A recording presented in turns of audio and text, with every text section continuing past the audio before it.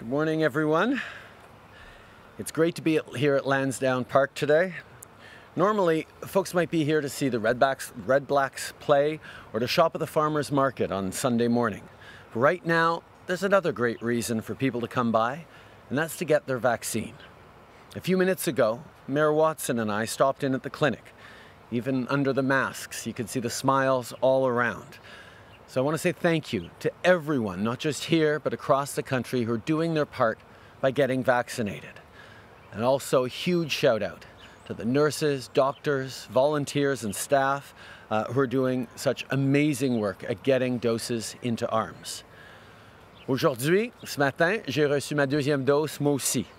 Je me sens bien, on se sent surtout plus en sécurité extrêmement optimiste par rapport à l'été qui s'en vient et à l'automne qui suivra.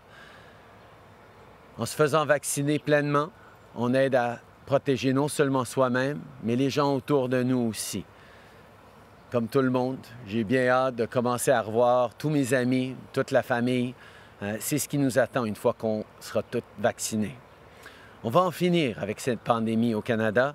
On va y arriver parce que tout le monde est en train de faire leur part quand c'est leur tour de se faire vacciner. Le Canada est au premier rang mondial en termes de vaccination. Près de 80% des Canadiens éligibles ont reçu leur première dose et plus de 35% ont aussi reçu leur deuxième dose. Et on voit à tous les jours, ces chiffres sont en train d'augmenter. Il faut maintenir ce rythme. En date d'aujourd'hui, un total de plus de 50 millions de doses de vaccins sont arrivées au Canada et d'ici la fin du mois, on va en avoir reçu 68 millions. Autrement dit, on est en très bonne voie d'avoir un bon été et un automne encore meilleur. We're on the right track to end this pandemic in Canada. That said, we're not quite out of the woods yet. Let's take a look at what's going on in Yukon. Despite being at over 86% of eligible people with a first dose and over 76% second dose fully vaccinated, they're facing their biggest spike in cases right now since the pandemic began. This is a reminder that we all have to keep being careful and get as many vac people vaccinated as soon as possible. Minister LeBlanc has spoken with Premier Silver, and we're working with the territory on whatever we can do to help. Peu importe où vous vivez, on sera là pour vous pendant la crise. Que ce soit à cause de votre deuxième dose de vaccin ou parce que vous, vous pouvez rouvrir votre petite entreprise, il y a bien des moments d'être content en ce moment. Et ça, c'est important. Mais on ne peut pas oublier que pour beaucoup trop de gens au pays, les dernières semaines ont été difficiles. I know we're all thinking of British Columbians right now in Lytton, where wildfires have devastated the town and across the province with the extreme heat wave. Yesterday, I talked to both Premier Horgan and Acting Chief Haugen of Lytton First Nation. And later today, I'll speak with Lytton's Mayor, Polderman. Here's, we are here as a federal government, as partners for whatever support people need. We're standing with the people of Lytton to rebuild, and we're continuing to work with the province to keep all British Columbians safe.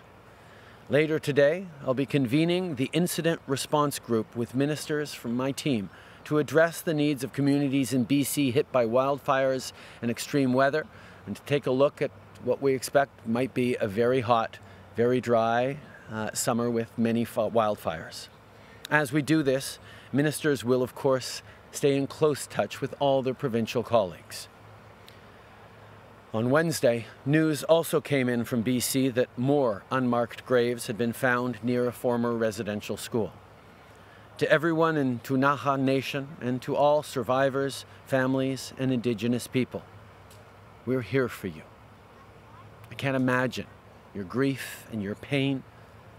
We will work with you day in and day out on whatever you need to heal.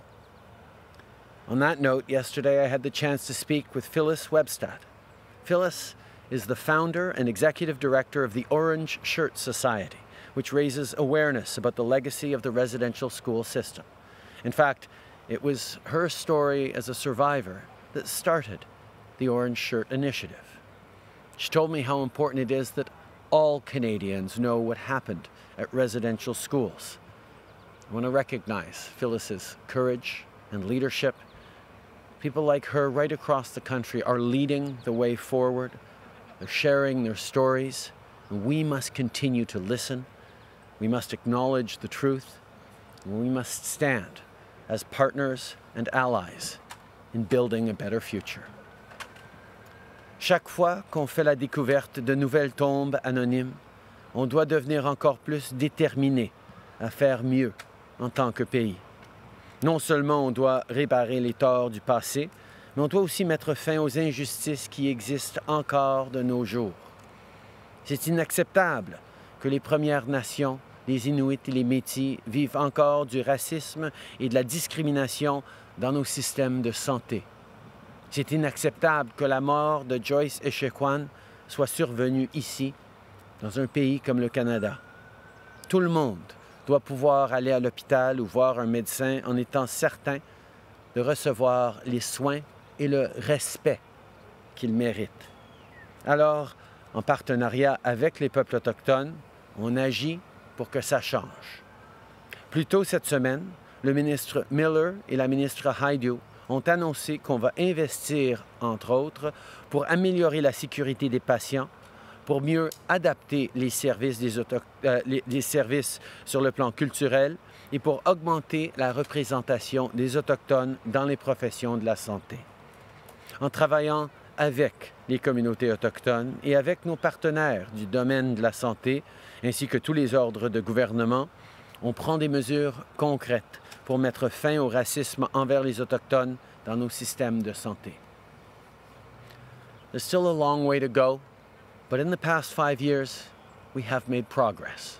We've lifted 108 long-term drinking water advisories and invested in classrooms for hundreds of communities.